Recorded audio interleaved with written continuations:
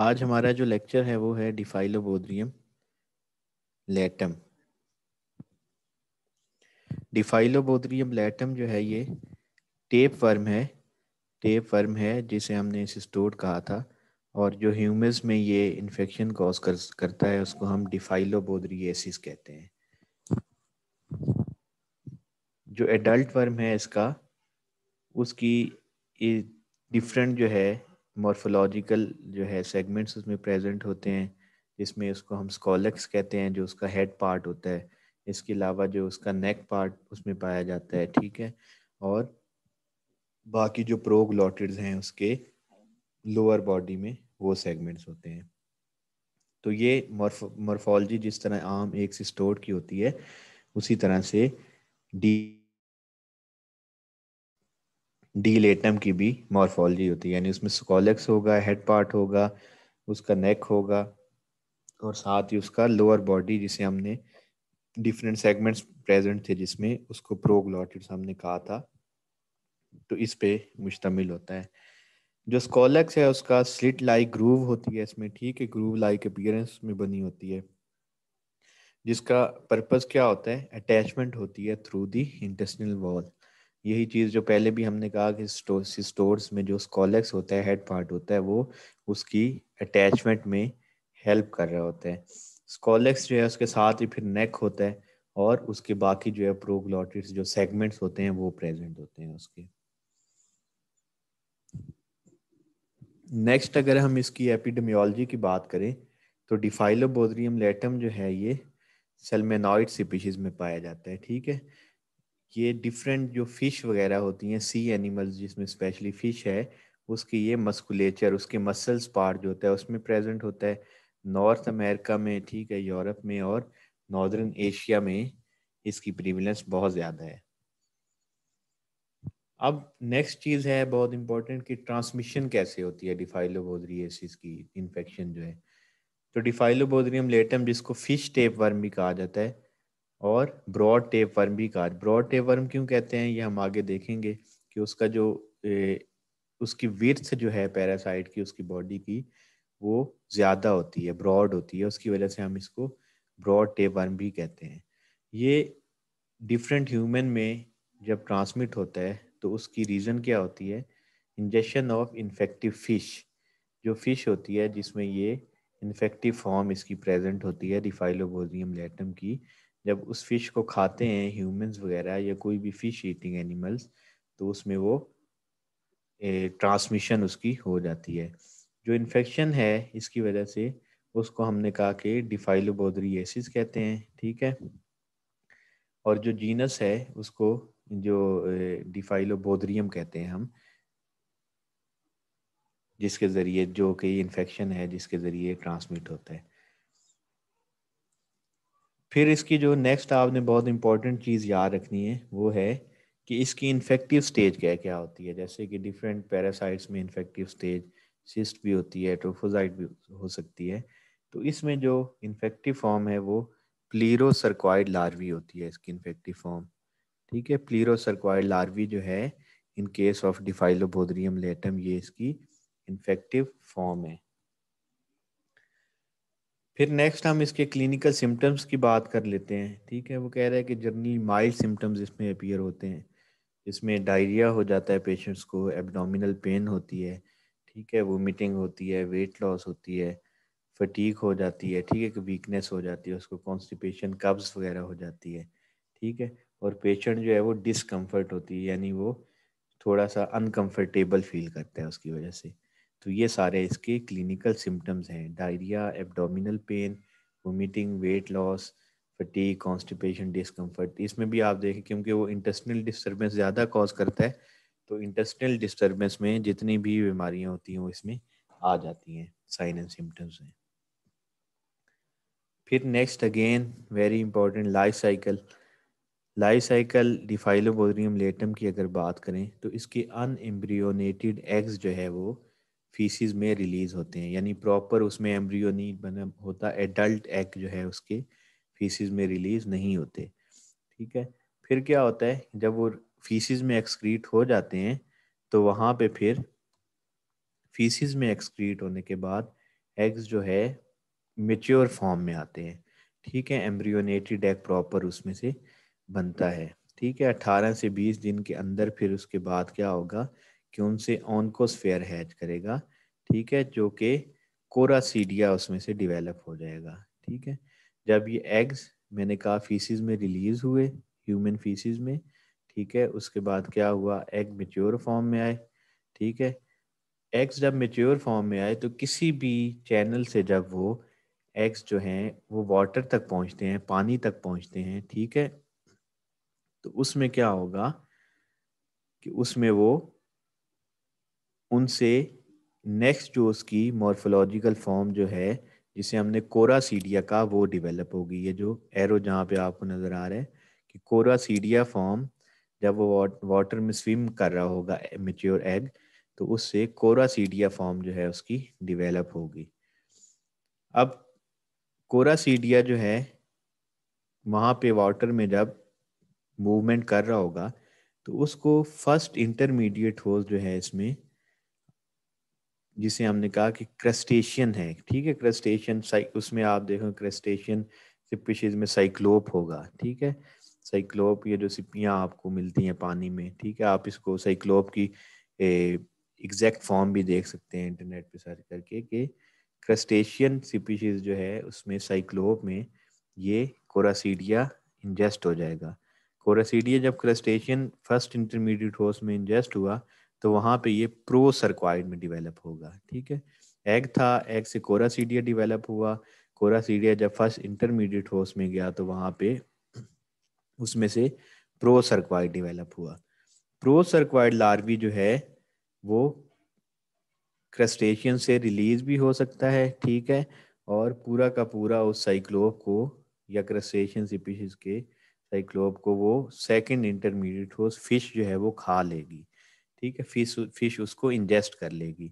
जब फ़िश उसको इंजेस्ट करती है तो वो उसके डीपर टिश्यूज में इन्वेट करता है, ठीक है? डीपर टिश्यू में इन्वेट करने के बाद वो माइग्रेट डिवेलप हो जाएगा इनटू दी प्लीरो सर्कवाइड लार्वी ठीक है? जिसको स्परगैना भी कहते हैं। यानी इसकी थ्री मॉर्फोलॉजिकल फॉर्म्स हुई।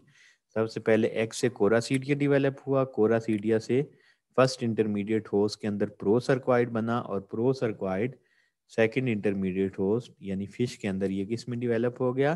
प्लीरो सर्कवाइड लार्वी में। और प्लीरो सर्कवाइड लार्वी जो है, उसके मसल्स में ही रहेगा, ठीक है? और जब कोई भी definitive host fish eating animal कोई भी उसको खाएगा तो वो उसमें ट्रांसमिट हो जाएगा। Which is infectious stage of the for the definitive host यही बात जो पहले मैंने बताई कि प्लीरो सर्कवाइड जो है वो उसका डेफिनेटिव होस्ट के तौर पे इन्फेक्टिव फॉर्म के तौर पे एक्ट करता है।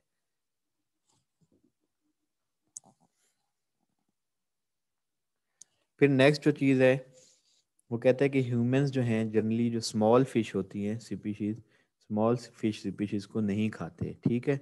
उसको ज़्यादातर कौन खाएगा? ज़्यादातर जो है, लार्ज फ़िश वगैरह जो है, वो उसको खा लेती हैं, ठीक है? तो उस वजह से वो इन्फेक्शन फिर लार्ज फ़िश में प्लीरोसर्कवाई ट्रांसमिट होता है और वहाँ से जब लार्ज फ़िश को हम खाते हैं तो वो फिर पैरासाइट जो है वो हमारे में ह्यूमन में ट्रांसमिट हो जाता है। फिर वो, वही बात कि प्लीरोसर्कवाइड माइग्रेट करेगा मसल्स ऑफ़ लार्ज फ़िश की तरफ़, ठीक है ह्यूमन और डेफिनेटिव होस्ट जो है उसको फ़िश को खाएँगे तो उनमें ट्रांसमिट हो जाएगा, ठीक है। प्लीरोसर्कवाइड जो है डेफिनेटिव होस्ट में एडल्ट टेप वर्म में जब वो डेफिनेटली होस्ट का क्या होगा ह्यूमंस भी हो सकते हैं डिफरेंट फ़िश ईटिंग एनिमल्स और भी जितने भी फ़िश खाते हैं एनिमल्स वो उसमें शामिल हो सकते हैं। तो प्लीरस सर्कवाइड उनमें एडल्ट टेप वर्म में बनेगा, ठीक है डिवेलप होगा इनटू दी स्मॉल इंटेस्टाइन और एडल्ट टेप वर्म जो है, उसका मैंने कहा था कि वो अपने सिस्टोड के ज़रिए से इंटेस्टिनल म्यूकोजा के साथ अटैचमेंट कर देगा। बाईलेटरल ग्रूव्स या बोजरिया इनको कहते हैं, जो कि उसके सिस्टोड के ऊपर ग्रूव्स प्रेजेंट होते हैं, ठीक है? स्कॉलेक्स के ऊपर, ठीक है? स्कॉलेक्स के ऊपर जो ग्रूव्स होंगे उसके हेड पार्ट के तो उन ग्रूव्स की वजह से वो इंटेस्टाइन इंटेस्टाइन के साथ जो है वो अटैचमेंट करेगा। फिर वहाँ पे वो मेच्योर फॉर्म में कन्वर्ट होगा, ठीक है? और up to the ten metre उनकी जो है वो लेंथ हो जाएगी, ठीक है? टेन मीटर लेंथ उनकी हो जाएगी जब वो अटैचमेंट करेगा और मेच्योर फॉर्म में डेवलप होना शुरू होगा। और उसमें टेन मीटर लेंथ के सब जब जब ये स्टोर प्रेजेंट होगा तो उसमें थ्री थाउज़ेंड प्रो प्रोग्लॉटिड्स उसके प्रेजेंट होंगे। जो सेगमेंट्स मैंने बताए थे छोटे छोटे उसमें कितने हो जाएँगे? Approximately three thousand pro proglottids develop होंगे। कहता है कि इमेच्योर एग्स जो हैं, वो भी प्रोग्लॉटिस से डिस्चार्ज होते हैं, ठीक है? और अप टू वन लैख जो है, ठीक है? अप टू वन मिलियन जो है ये एग्स जो है पर डे जो है ये रिलीज़ हो सकते हैं, ठीक है? इसके अलावा जो है, जब ये फीसिस में पास होंगे तो फाइव टू सिक्स वीक्स जो है आफ्टर जो है ये इन्फेक्शन जो है ये एग्स जो है फीसिस में अपीयर रह सकते हैं। ये लाइफ साइकिल की डायग्राम है डिफाइलोबोद्रियन टैप वर्म की, ठीक है? सबसे पहले ये नंबर वन पे आप देखो कि ये जो मैंने सारा बताया, इस इस पिक्चर से ये क्लियर हो जाएगा आपको। एम्ब्रियोनेटेड एग्स थे अन एम्ब्रियोनेटेड एग्स थे पास हुए फीसिस में डेफिनेटिव हो उसके। वहाँ से जब वाटर में वो स्विम करते रहे तो एग्स जो है वो एडल्ट एग में डिवेलप हो गया एम्ब्रियोनेटेड एग्स में डिवेलप हो गया। फिर उसमें से क्या हुआ कि कोरा सीडिया निकला, उस एग्स में से कोरा सीडिया निकला और first intermediate host crustacean species का जो था, उसने उसको इंजेस्ट किया ये नंबर थ्री पे। फिर नंबर थ्री पे इस कोरा सीडिया को या तो पूरा का पूरा कोरा सीडिया जो है फ़िश ने इंजेस्ट कर लिया, ठीक है? या क्या हो सकता है कि वहाँ पे कोरा सीडिया रिलीज़ रिलीज़ हुआ वहाँ से और एक्स रिलीज़ हुआ और वहाँ से जो उसका सेकंड इंटरमीडिएट होस्ट था फ़िश था, उसने उसको इंजेस्ट किया।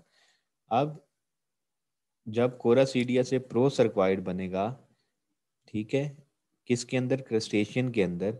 तो वो फ़िश जब उसको इंजेस्ट करेगी तो प्रो सर्कवाइड जो है ये प्लीरो सर्कवाइड में कन्वर्ट होगा, ठीक है?